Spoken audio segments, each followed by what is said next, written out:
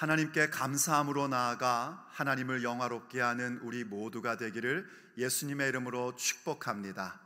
하나님께서 우리의 인생 가운데 치유와 회복의 은총을 베풀어 주시고 또한 우리를 영화롭게 하심이 우리 인생 여정의 이야기가 될 줄로 믿습니다. 감사하는 사람과 불평하는 사람, 감사할 줄 아는 사람과 그것을 전혀 감각도 못하는 사람 가운데 우린 누구라 할 것도 없이 감사하는 사람을 좋아합니다. 감사하는 사람과 있으면은요, 참 기분이 좋아집니다. 신기한 건 뭐냐면, 불평하는 사람과 같이 지내다 보면 나도 모르게 어느새 불평을 하고 있고요. 감사하는 사람과 함께 지내다 보면 기분이 좋아지는 것 뿐만이 아니라 나도 모르게 내 입에서 아, 맞아. 참 감사한 일이야 하는 그 고백이 나오는 것을 발견하게 됩니다. 그래서 우리는 감사하는 사람과 함께하는 걸 더 좋아합니다. 여러분, 감사하는 사람과 함께 하십시오. 그리고 감사하는 사람이 또한 되십시오.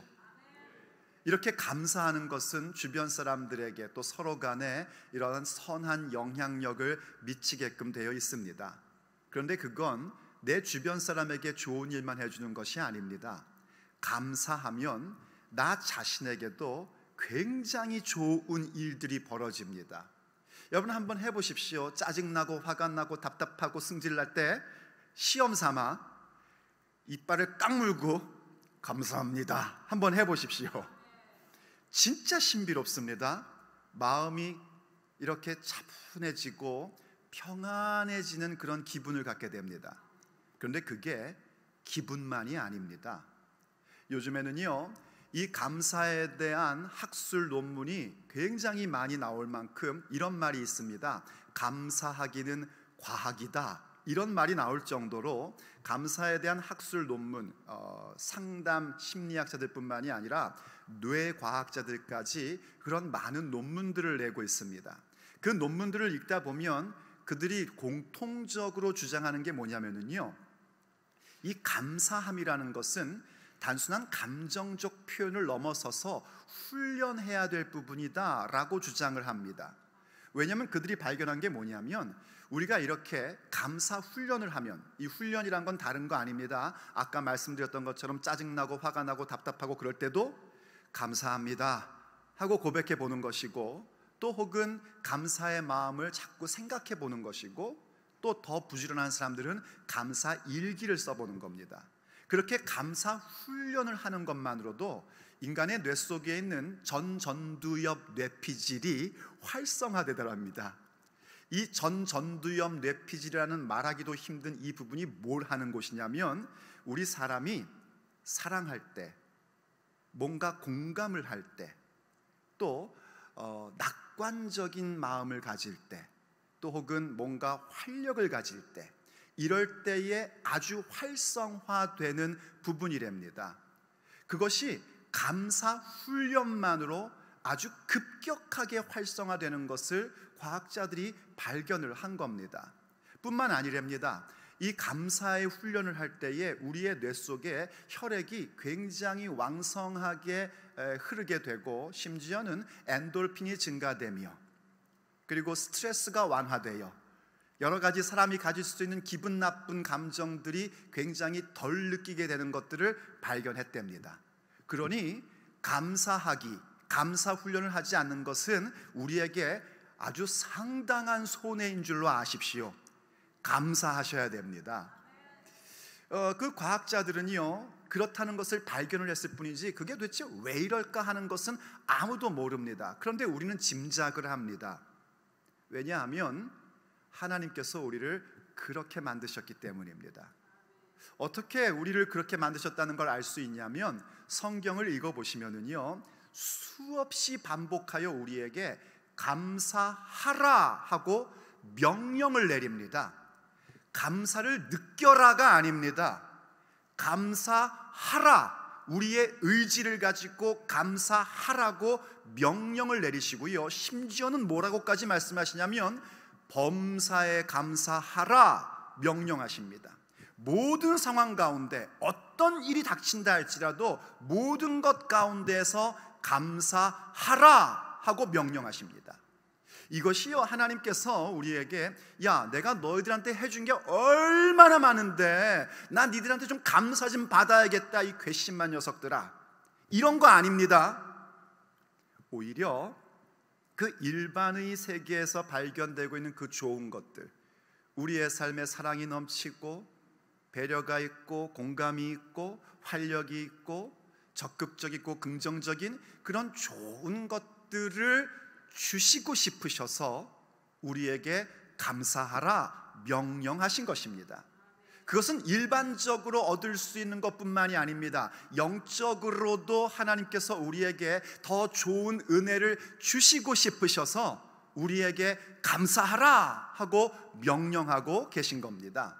그 영적인 건 이런 겁니다. 우리가 하나님 앞에 감사함으로 나아가면 하나님께서 영광을 받으십니다. 감사로 나아가는 자들이 하나님을 영화롭게 합니다.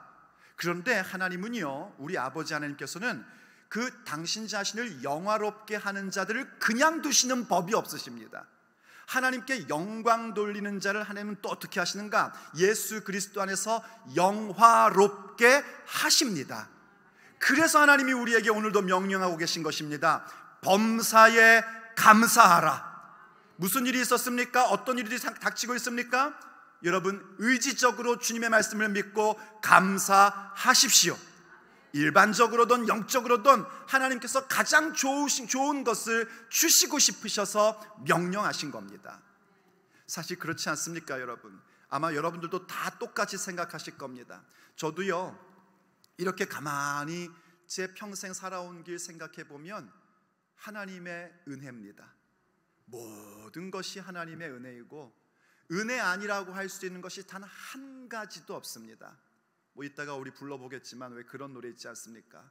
내 평생 살아온 길 뒤돌아보니 짧은 내 인생길 주의 은혜라. 모든 것이 하나님의 은혜입니다. 그러다 보니 그 은혜를 생각하면 감사할 수밖에 없습니다. 정말 수많은 감사의 조건들이 우리들에겐 있습니다. 그런데 오늘 우리가 함께 읽은 본문 말씀은 그 수많은 감사의 일들에 근간이 되는 감사가 있음을 우리에게 가르쳐 주고 있습니다. 바로 예수님을 믿는 자들이 가질 수 있는 감사입니다. 엎드리어 감사하니 그 수많은 감사의 조건들의 근간을 이룰 수 있는 믿는 자들의 감사는 과연 무엇일까요? 우리는 무엇을 하나님 앞에 감사하는 자 되어야 하겠습니까? 오늘 2022년 추수감사주의를 통하여 하나님께서 우리에게 주시고 감사의 고백으로 드려야 할 하나님의 메시지입니다. 우리는 첫째 소리 높여 간구함이 감사합니다. 좀 더 풀어 설명하자면 우리가 예수님을 만나게 되었고 예수님을 향하여 소리 높여 간구할 수 있다는 그 사실 그런 기회가 우리에게 주어졌고 그런 상황이 우리에게 있고 그런 환경과 여건 있음이 감사한 것입니다. 이 감사함을 여러분들은 다시 기억하셔야 됩니다. 오늘 본문을 보면 예수님을 만난 10명의 사람들이 나옵니다. 바로 그 당시 나병 환자로 고생하고 있던 사람들이었습니다. 본문 11절을 보십시오. 예수님께서 예루살렘으로 가실 때에 사마리아와 갈릴리 사이로 지나가시다가 예수님께서 지금 누가복음에서 예루살렘으로 가시는 그 상황은 뭐냐면 십자가 지로 지러 가시고 계신 길입니다. 그런 길 가운데에 사마리아와 갈릴리 사이를 지나가시다가 12절 한 마을에 들어가시니 나병 환자 10명이 예수님을 만나 멀리 서서 소리를 높여 이르되 예수 선생님이여 우리를 불쌍히 여기소서 하거늘 예수님께서 지금 그렇게 예루살렘으로 가시는데 한 마을을 지났답니다. 아마 이 마을은 큰 마을, 어떤 성이 아니었을 겁니다. 자그마한 마을이었을 것입니다. 왜냐하면 이 성이 이렇게 있으면 성문이 있고 성문이 있으면은요 나병 환자들은 그 마을로 들어갈 수가 없습니다. 나병이 걸리는 것은 고대 사회에서 지금도 그렇지만 고대 사회에서 그건 정말 큰 저주 같은 일이었습니다. 개인적으로 자기의 몸이 아픈 것뿐만이 아니라 그 공동체에서 나가야만 됩니다. 가족도 다시 만날 수가 없는 겁니다. 길을 가다가 어떤 사람을 만나게 되면은요, 자기의 입술을 이렇게 가리고 부정하다 부정하다 그렇게 외쳐야만 되는 겁니다. 그러지 않다가 나병 환자가 발견되었을 때 사람들이 돌로 던져 돌을 던져서 자기를 죽여도 할 말이 없는 게 나병이라는 겁니다. 그런데 이 나병 환자들이 마을에 왔다는 걸 보니 그 마을은 성벽이 없는 그저 자그마한 마을이었을 것으로 그렇게 추정이 됩니다. 그런데 거기에서 예수님을 발견하게 됐고 예수님의 소식을 알게 되어 그분 앞에 나아가 우리를 불쌍히 여겨달라고 외친 겁니다. 한번 보세요, 여러분. 예수님이 십자가를 지러 가시는 그 길 가운데 얼마나 많은 마을들이 있었겠습니까? 성들도 있었습니다. 근데 그 수많은 마을 다 제쳐놓고 지금 이 마을을 지나가고 계시고요. 수많은 나병 환자들이 있었지만 그 가운데 10명의 나병 환자가 마침 그곳에 있었고 예수님을 만나게 된 겁니다. 그리고 그 예수님을 향하여 소리를 높여 예수님께 가까이 갈 수는 없고 소리를 높여 외친 겁니다. 우리를 불쌍히 여겨 주옵소서. 그런데 그게 은혜였습니다.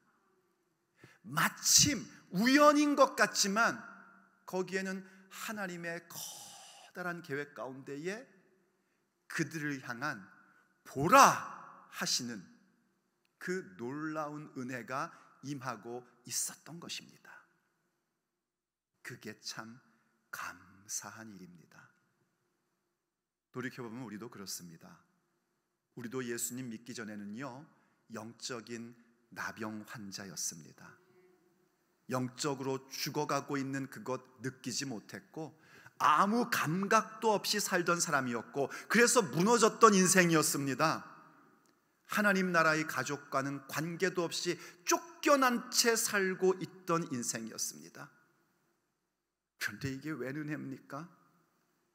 그 수많은 세계 국가가 196개국이고 올림픽 들어오는 건 206개의 국가가 있다는데 그 수많은 국가 가운데 복음이 있는 나라에 태어나고 살고 있고 뿐만 아니라 주님 앞에 소리 높여 기도할 수 있는 교회 가운데 출석하고 있고 말씀을 들음으로써 하나님의 은혜가 무엇인지 배우게 되었고 극률하심을 얻기 위하여 때를 따라 돕는 은혜를 위해서 은혜의 보좌 앞에 담대히 나아갈 수 있는 자가 된 것입니다. 그것이 하나님의 은혜입니다.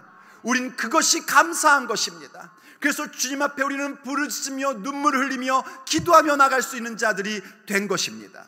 바로 이 모습을 보고요. 이사야 55장 6절은 우리에게 이렇게 얘기를 해 줍니다. 너희는 여호와를 만날 만한 때에 찾으라. 가까이 계실 때에 그를 부르라. 소리 높여 간구할 수 있는 그분이 우리에게 계신다는 것. 그것이 우리의 모든 감사의 근간을 이루는 것입니다. 고아는요, 슬프고 어려운 일이 있어도 울지를 않는답니다. 왜냐하면 울어봐야 그 울음 받아줄 사람도 위로해 줄 사람도 없다는 것을 그들이 직감적으로 알기 때문이래요. 그런데 우리 교회에서도 보면은요, 우리 애들 참 재밌습니다. 친구들끼리 뭔가 트러블이 일어나고 뭔가 싸움이 있는 것 같고 그럴 때에 안 웁니다. 아주 얼굴을요 비장한 각오를 짓고 있습니다. 그러다가 저쪽에서 자기 부모가 딱 나타나면 울음이 빵 터지는데 세상에 그렇게 서럽게 울 수가 없습니다. 부모님 나타났다 이겁니다. 나 사랑하는 사람 여기 있다 이겁니다. 나의 이 아픔을 알아줄 사람이 지금 나에게 나타났다는 겁니다. 정말 서럽게 웁니다. 야, 부모가 돌아가신 것도 아닌데 저렇게 서럽게 우나 싶을 만큼 애들이 서럽게 옵니다. 그런데 아십니까 여러분? 그 이유는 그가 사랑받고 있다는 것을 알기 때문입니다. 자녀들이 그렇게 엄마 아빠의 품에 안겨 울면서 성장합니다. 우리도 마찬가지입니다. 정말 속상하고 힘들고 해결되지 않은 일들이 산더미처럼 몰려오는 것 같은데 어디 하소연할 데 없다고요? 어디 눈물 흘릴 곳 하나 없다고요? 아니 여러분이 고합니까? 하나님의 자녀들입니다. 그분 앞에 나와 소리 높여 간구하십시오. 그거 할 수 있는 게 은혜이고 그것 할 수 있음이 우리의 감사의 조건인 것입니다. 지금은 구원받을 만한 때고요. 지금은 은혜 받을 만한 때입니다. 주님 앞에 소리 높여 간구함이 우리에게는 감사의 조건인 것입니다. 그런데 아시다시피 여러분 그렇게 주님 앞에 나와 간구하면은요 여러분이 알게 됩니다. 우리가 간구하고 서럽게 우는 것으로 끝나지 않습니다. 우리 하나님께서는 그 모든 소리 높여 간구한 자녀들의 기도에 응답 주십니다. 그래서 두 번째 우리가 감사하는 것은요, 치유와 회복 주심이 감사합니다. 상처받고 힘들고 삐뚤어져 있고 어렵고 이 모든 것들을 우리가 주님 앞에 소리 높여 간구하며 나갈 때에 주님께서는 우리를 치료해 주시고 치료하실 뿐만이 아니라 회복시켜 주십니다. 그것이 감사한 것입니다. 사실 우리의 신앙의 여정은 이렇게 하나님 앞에 간구하여 응답받고 치유되고 회복된 곳에 회복되는 것의 연속이라고 할 수 있습니다. 그게 신앙 여정입니다. 다시 한번 본문으로 돌아가 보십시오. 14절. 보시고 이르시되 가서 제사장 제사장들에게 너희 몸을 보이라 하셨더니 그들이 가다가 깨끗함을 받은지라. 만약에 이 10명의 나병 환자들이요, 그저 다른 곳에 가가지고, 어, 우리를 불쌍히 여겨주세요! 하고 그렇게 외쳤다면은요, 그건 그저 신세 한탄에 불과했을 것이고, 남들에게 욕이나 그냥 먹었을 겁니다. 어디 나병 환자가 어디 와가지고 지금 불쌍히 여겨달라고 하냐고. 그런데 그들을 사랑하시고, 그들을 고치실 수 있는 전능하신 하나님, 예수님 앞에 나와 소리 높여 간구하니 하나님의 응답이 그들에게 임한 것입니다. 가서 제사장들에게 너희 몸을 보이라 하신 말씀에는요, 여기에는 어, 중요한 의미가 담겨져 있습니다. 제사장에 가서 보이라는 건 뭐냐면 일단 나병이 나았다는 겁니다. 유대인의 법에 의하면 나병이 걸리면은 아까 말씀드렸던 것처럼 어, 추방이 되다시피 하는 거예요. 커뮤니티에서 추방이 되는 겁니다. 그러다가 어떻게 어떻게 하다가 어떻게 또 나음을 입었다 하면은요 제사장에 가서 자기가 나았다는 걸 보여줘야 됩니다. 그럼 제사장은 어떤 그 과정을 통해서 지켜보다가 다 나으면 하나님 앞에 제사를 드립니다. 그 제사를 드린 후에는 다시 가정으로 돌아가게 되고 사회로 복귀되게끔 되어 있습니다. 그러므로 예수님께서 지금 가서 제사장들에게 네 몸을 보여라 하실 때에는 그들에게 이미 그 치유와 회복의 은혜를 베풀어 주심입니다. 그런데 참 신비한 게 뭐냐면 여러분 이거 놓치면 안 됩니다. 그들이 예수님께서 가서 제사장들에게 내 몸을 보이라 말씀하신 즉시 나음을 입은 것이 아니라 가다가 깨끗함을 입었답니다. 제가 여기에 붙인 별명이 있습니다. 시간차 응답. 하나님의 응답의 대부분은요, 시간차 응답입니다. 즉각적으로 주시는 응답도 있지만 아주 많은 대부분의 응답이 가다가 깨끗함을 입는 이 시간차 응답이 온다는 사실을 여러분들은 유념하셔야 됩니다. 하나님은 시간차로 응답해 주십니다. 우리의 인생에 치유해 주시고 회복해 주시는 그런 응답을 주시는 하나님이십니다. 그 치유 받으셔야 됩니다. 그 회복 받으셔야 됩니다. 전에 우리가 그렇게 나병 환자 같이 살다가 하나님 앞에 나오지도 못하고 우리가 그렇게 정상적인 영적 생활을 못하던 사람들이 이제 주님 앞에 소리 높여 간구함으로 말미암아 치유받고 회복되어 이제는 내가 하나님 앞에 영적인 일반의 삶을 영적인 정상적 삶을 사는 자로 오셔야 됩니다. 우리 하나님은 치유하시는 하나님이십니다. 회복시켜 주시는 하나님이십니다. 물론 여러분 알고 있습니다. 그런데 왜 아직도 저는 이렇게 몸이 아프죠? 왜 아직도 저에게는 문제가 이렇게 많죠? 왜 내게는 이런 일들이 생긴 것이죠? 물론 그런 일들이 여러분들에게 있을 것입니다. 그러나 그렇다고 낙담하지 마십시오. 끊임없이 하나님 앞에 소리 높여 간구하십시오. 하나님께서 시간차에 그분의 때에 반드시 응답하십니다. 그래도 너무 괴롭다고요? 그렇다면 여러분이 한 가지 인정하셔야 될 것이 있습니다.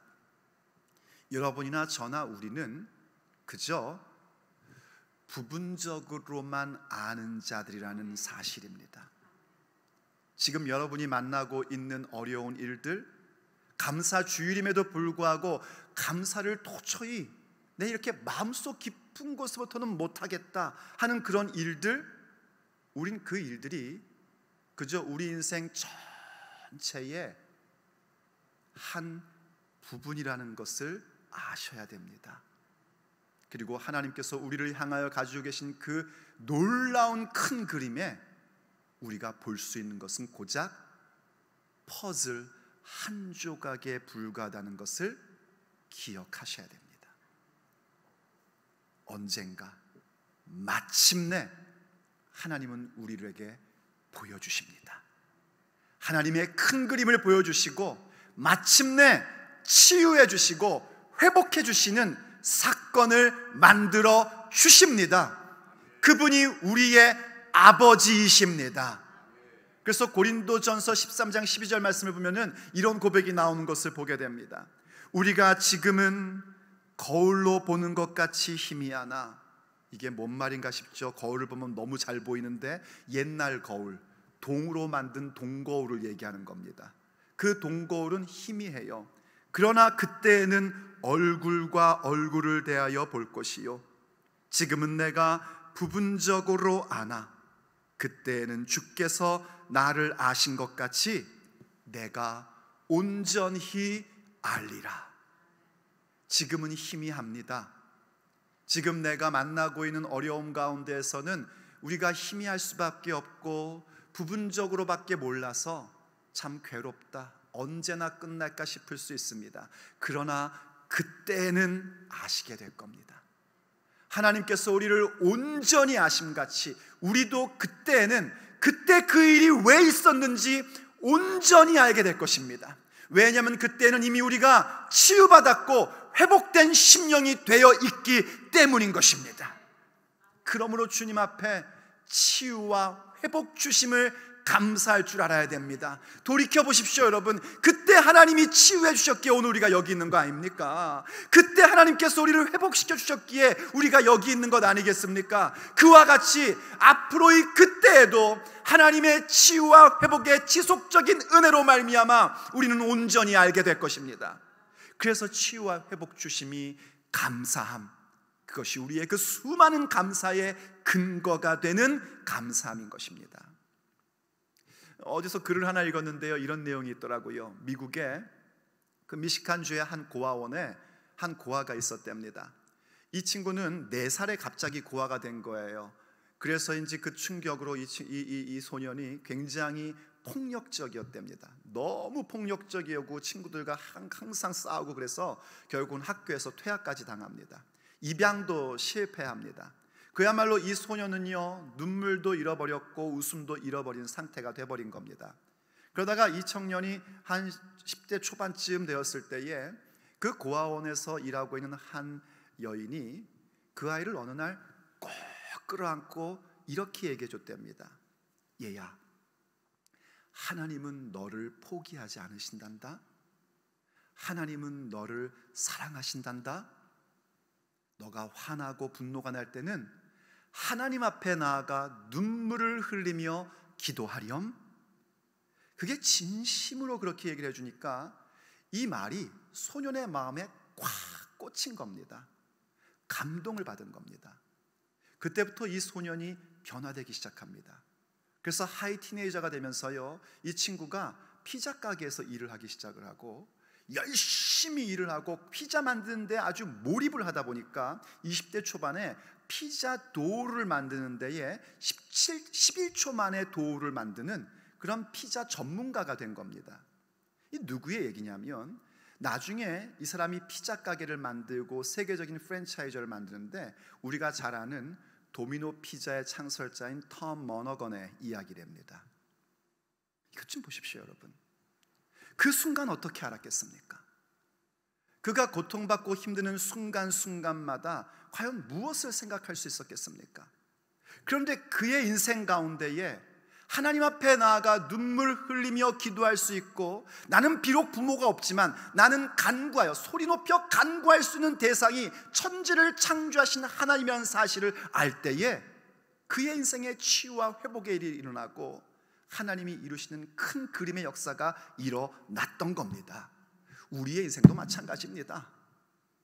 우리 역시 우리가 눈물 흘리고 소리 높이며 기도할 수 있는 하나님이 우리의 아버지이심을 감사하셔야 되고 그렇기 때문에 그분이 우리의 인생 가운데 반드시 치유와 회복 주심을 믿으셔야 합니다. 그리고 그것 주심을 감사하며 나아가십시오. 그럴 때 우리는 마지막 한 가지 더 꼭 잊지 말아야 할 감사함이 있습니다. 그것은 세 번째, 우리는 돌아와 감사할 수 있어 감사한 것입니다. 잘 들으십시오. 돌아와 감사할 수 있음이 우리의 감사함입니다.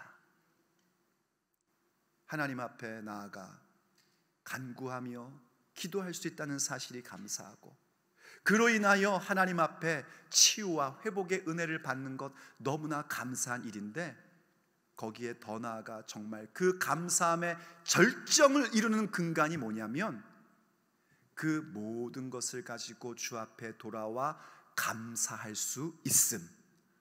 그거이 감사한 겁니다. 한번 다시 본문으로 돌아가 보세요. 오늘 15절 말씀입니다. 그 중에 한 사람이 자기가 낳은 것을 보고 큰 소리로 하나님께 영광을 돌리며 돌아와 예수님의 발 앞에 발 아래에 엎드려 감사하니 그는 사마리아 사람이라. 우리가 일비 읽었듯이요. 10명 다 나왔습니다. 분명히 전부 다 나왔습니다. 예수님께서 말씀하시니 10명 모두 다 나음 받은 겁니다. 가다가 나왔대요. 얼마나 깜짝 놀랐을까요? 얼마나 기뻤겠습니까? 저는 상상해 보는데요. 그 사람들이 그런 말도 했을 것 같아요. 어이구, 하나님 감사합니다. 이런 말도 했을 것 같아요. 그런데 오늘 본문은요. 오직 한 사람만이 하나님께 영광을 돌렸답니다. 10명이 아니고요. 한 사람만이. 어떻게? 그가 돌아와 하나님께 영광을 돌렸대요. 그가 예수님의 발 아래에 엎드려 그에겐 다른 말로 하면 경배하는 겁니다. 예배하는 겁니다. 하나님 앞에 예수님께 돌아와 예배하며 감사했답니다. 그 사람은 공교롭게도 유대인들이 사람 취급하지 않던 사마리아인이었답니다. 이방인이었다는 겁니다. 그게 감사의 절정입니다. 우리가 여러 가지 하나님 앞에서 간구하고 응답받고 하나님께서 이렇게 예배 가운데 그래 내가 너에게 고쳐주마 내가 너에게 응답해주마 내가 너에게 해결해주마 그리고 나서 여러분들이 집에 가서 살고 직장 생활하고 사업하다 보면 거기서 문제 해결되는 것도 체험하고 경험합니다 회복되고 치유되는 것 경험합니다. 그때 당연히 여러분들은 깜짝 놀라기도 하고 기분 좋고요. 기쁘고 행복하고 그래서 순간 말씀하시겠죠. 어 하나님 감사합니다. 정말 응답하셨네요. 다 참 잘하고 있는 것입니다. 그런데 우리의 감사의 절정은 어디서 이루어지는 것이냐면 그 모든 감사의 일들을 가지고 하나님 앞에 나와 그분께 예배하며 감사 드리는 것입니다. 그게 감사의 절정입니다. 지금 여러분들이 하고 있는 것처럼 말입니다. 여러 가지의 인생의 일들이 있으나 하나님께서 내게 이렇게 놀라운 은혜 주심을 감사하여 다시 돌아와 주님 발 앞에 엎드리어 감사로 예배를 드리는 것 말입니다. 그런데 그게 감사한 겁니다. 그렇게 할 수 있다는 사실이 감사한 겁니다. 왜 그게 그토록 감사한 일이냐면요. 하나님께서는 그런 자들에게 놀라운 은혜를 또다시 부어주시기 때문입니다. 그 다음 구절을 보십시오. 17절입니다. 예수님께서 대답하여 이르시되 열 사람이 다 깨끗함을 받지 아니하였느냐? 그 아홉은 어디 있느냐? 예수님이 그 사람 찾으시는 겁니다. 하나님 앞에 간구한 사람뿐이 아니고요. 하나님께서 하나님께서 주신 그 치유와 회복을 받은 사람이 아니라 왜 그 모든 은혜를 받고 돌아와 감사하는 자가 없을까? 돌아와 감사하는 자를 예수님이 찾으십니다. 이렇게 말씀하셔요. 계속해서요. 18절. 이 이방인 외에는 하나님께 영광을 돌리러 돌아온 자가 없느냐? 이겁니다. 감사함으로 하나님께 영광을 돌리러 오셔야 됩니다. 그럴 때 어떻게 하시죠? 19절. 그에게 이르시되 일어나 가라. 내 믿음이 너를 구원하였느니라 하시더라. 할렐루야. 내 믿음이 너를 구원하였다는 말씀은 뭐냐면요. 이제부터 너의 믿음의 능력이 무엇인지를 보게 될 거라는 것입니다. 그의 영혼의 구원뿐만이 아니라 그의 삶에서 만나고 있는 여러 가지의 크고 작은 일들. 여러분, 나병이 나은 것만으로 인생의 일이 끝납니까? 천만의 말씀입니다. 앞으로 살아가야 될 일들은 더 수없이 많습니다. 근데 그에게 주님께서 보장의 말씀을 주시는 거예요. 일어나! 가라! 자기 혼자 그냥 가는 것과 하나님께서 일어나 가라는 말씀을 받고 가는 것에는요, 이건 천지의 차이입니다. 그냥 자기 혼자 아유 좋다 하고 가는 것에는요 어떤 일이 생기면 그냥 다 넘어지고 쓰러지고 포기할 수밖에 없어요. 그러나 하나님께서 일어나 가라 하는 그 말씀을 붙잡고 가실 때는 내 믿음이 너를 구원하였느니라. 너의 믿음이 너의 모든 문제를 해결하게끔 내가 보장한다. 이 말씀하시는 겁니다. 그러니 여러분 우리가 주님 앞에 돌아와 감사할 수 있는 것이 또 감사한 것입니다. 시편 50편 23절에 보면 이렇게 말씀해 주고 있어요. 감사로 제사를 드리는 자가 나를 영화롭게 하나니 그의 행위를 옳게 하는 자에게 내가 하나님의 구원을 보이리라. 할렐루야. 감사로 예배하며 나오십시오. 그와 같은 우리를 그냥 내버려 두지 아니하시고 성령님을 보내셔서 천지를 창조하신 하나님 아버지 앞에 감사하며 나가십시오. 내가 어렵고 서럽고 이렇게 박해받고 저렇게 고통당해도 소리 높여 간구할 수 있는 아버지가 내게 계심을 감사하십시오. 그분이 우리의 인생 가운데 치유를 주시고 회복 주심을 감사하십시오. 그리고 더 나아가 그 모든 것을 주심에 감사함으로 주 앞에 나오십시오. 돌아와 감사할 수 있음이 감사한 일입니다.